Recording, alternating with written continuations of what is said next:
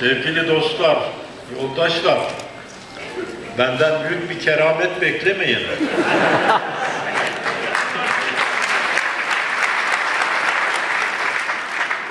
Sevgili Kaya, bana öyle yüksek görevler verme.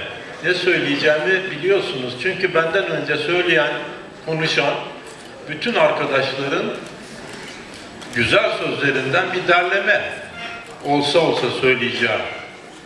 Bir de hemen e, şöyle bir keyif alıyorum. Yüzler gülüyor.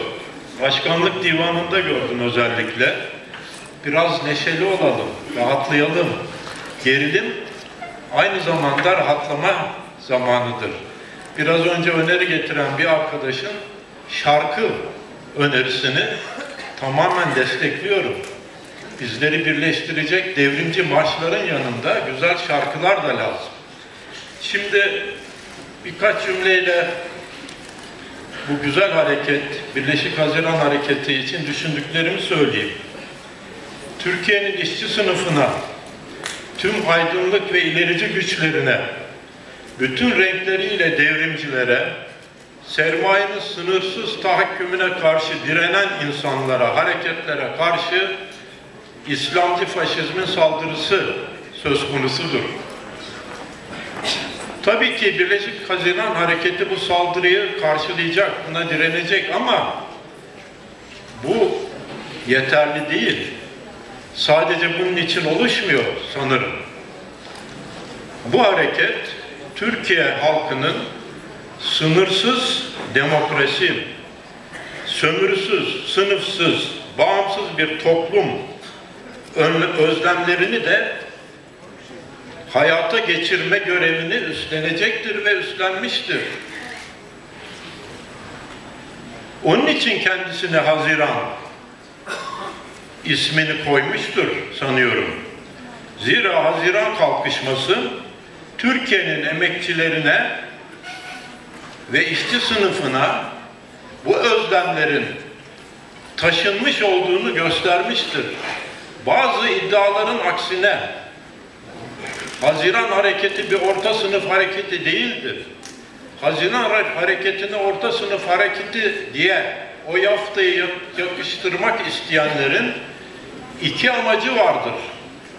Birinci amacı bu hareketin içine katılan insanlara iletilen bir mesajdır. O mesaj şuydu. Sizler işçi sınıfı hareketinin bir parçası değilsiniz. Onlardan ayrısınız. Size işçi sınıfı hareketinin gündemini, özlemlerini, sloganlarını, programlarını taşımak isteyenlere kanmayın, karşı durun. Siz ayrısınız. Siz bizim çocuklarımızsınız. İkinci mesaj ise biraz önce değindikleri bu hareketin temsilcilerine yani Birleşik Haziran Hareketi'nin şu salondaki katılan insanların önemli bir bölümüne onlara da diyorlardı ki bu çocuklar sizin hedefiniz olamaz. Sizler geçmişte kaldınız. Bunlar artık işçi sınıfı değildir. Size yabancıdır. Sizin davanız, programlarınız tarihe karışmıştır. İşte bu iki slogan benim görüşüme göre tamamen yanlıştı ve yanlıştır.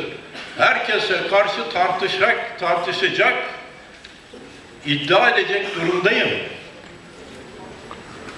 Haziran hareketi, Haziran kalkışması bütünüyle bir emekçi hareketiydi. Biraz önce buradan konuşan Gebzeli arkadaş ikinci özelliğini de vurguladı. Haziran hareketi kendi katılımıyla, tabanıyla, kitlesiyle büyük ölçüde bir işçi sınıfı hareketiydi. İşçi sınıfı hareketi demek hayatını, emeğini satarak kazanan insanların hareketidir. Bir,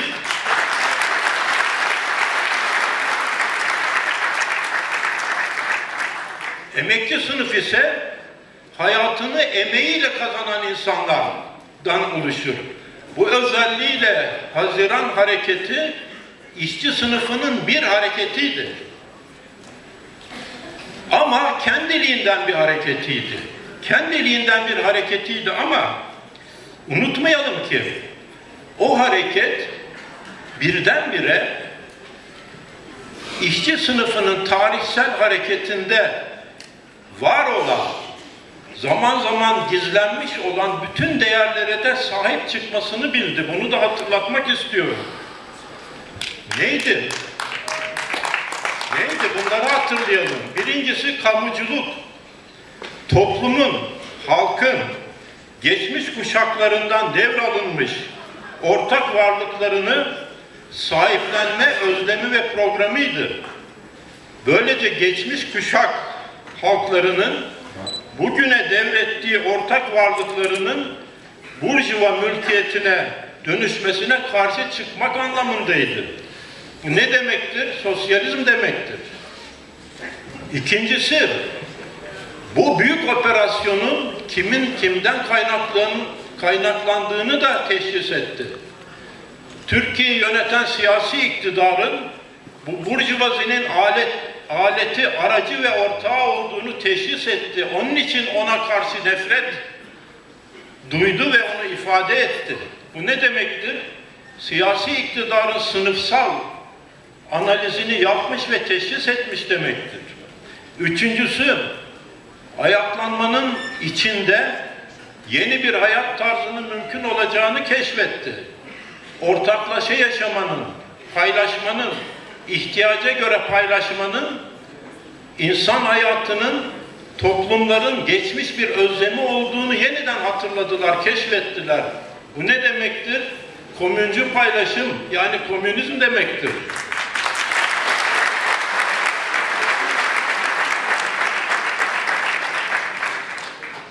Sonuncu olarak aydınlanmacı olduklarını karanlık ve gerici güçlerle alışverişleri olmadığını, sınırsız bir demokrasi özlemi içinde, sınırsız ve dolaysız bir demokrasi özlemi içinde olduklarını, yani devletsiz topluca katılımlı bir dünyada yaşayabileceklerini ifade ettiler. Devletsiz topluca yaşanabilecek bir yönetim tarzı da komünizmdir, insanlığın nihai idealidir. Bunu da keşfettiler. Bütün bunlar sosyal mücadeleler tarihinin ortak özlemleridir ama hareket aynı zamanda bir kendiliğinden hareketti. Bu hareketin insanlığın ortak sosyal mücadeleler tarihinin geçmiş değerleriyle bütünleşmesi ve birleşmesi lazımdır. O yüzden Birleşik Haziran Hareketi bu işin o ikinci ayağını da Haziran ayaklanmasının bütün değerlerini sahipleniyor. Çünkü o bizim kendi değerlerimizdi diyor. Ama aynı zamanda diyor ki geçmişten, tarihten gelen yakın geçmiş yani kapitalizmin yakın geçmişinden 19. yüzyıldan 20. yüzyıldan gelen mücadeleler tarihinin bütün değerlerini ve kahramanlarını da biz Haziran kalkışmasının aktörlerine taşımak görevindeyiz. Sosyal mücadeleler tarihinin geçmiş değerlerini, birikimlerini kendiliğinden bir hareketle bütünleştirdiğimiz zaman ve o hareketi işçi sınıfının tümüne taşıdığımız zaman mesele zaten hallolur. Onun için onun için bu geçmiş mirasın değerlerine Birleşik Haziran Hareketi elbette sahip çıkıyor. Türkiye'de bu değerleri temsil eden, taşıyan, geçmiş insanları da bu vesileyle hatırlayalım. Mustafa Subbi'yi hatırlayalım.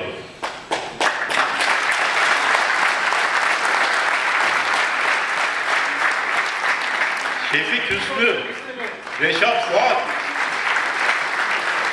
Hikmet Kıvılcımlı, Nuri Belli, Mehmet Ali Aybar, Beyce Boran hepsini hatırlayalım.